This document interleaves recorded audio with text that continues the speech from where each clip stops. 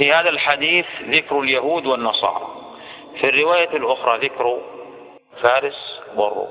فما الجواب؟ الجواب يكمن من وجوه. الوجه الأول أن يكون ما ذكر هنا من اليهود والنصارى وفارس والروم على سبيل ضرب المثال لا على سبيل الحصر. فتكون هذه الأمة تابعة لكل أصناف الكفار. من اليهود والنصارى وفارس والروم والوثنيين وما شابه أولئك.